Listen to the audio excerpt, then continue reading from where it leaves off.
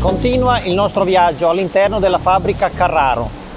Ci troviamo in questo momento all'inizio della linea trattori primo tratto, dove viene assemblata la driveline del trattore, il cuore del trattore. Io sono Nicola Maietti e sono il responsabile qualità dell'azienda.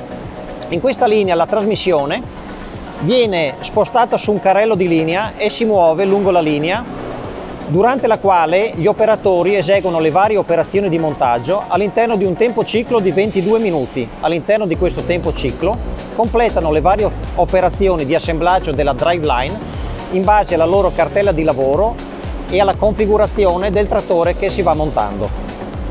Ci troviamo alla fine della linea di montaggio. La driveline è stata sostanzialmente completata.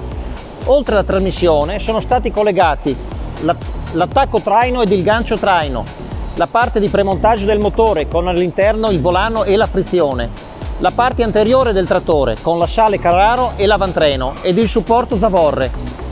Inoltre è stata completata la parte idraulica del trattore con i tubi, i raccordi, le valvole, i filtri, ad eccezione dei radiatori che verranno montati nel secondo tratto della linea dopo l'impianto di verniciatura.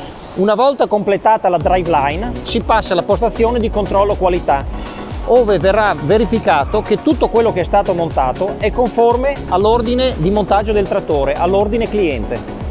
Terminato il controllo qualità, la driveline è ora pronta per entrare nell'impianto di verniciatura. Grazie per l'attenzione.